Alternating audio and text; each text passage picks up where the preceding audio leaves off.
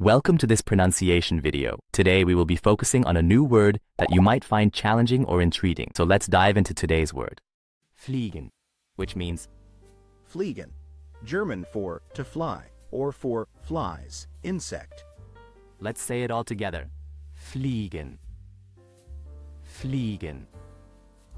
Fliegen. One more time. Fliegen. Fliegen. Fliegen. Thank you for joining us on this adventure in pronunciation. Remember, language is a journey, not a destination. Keep exploring, experimenting, and expanding your linguistic horizons. We'll see you next time.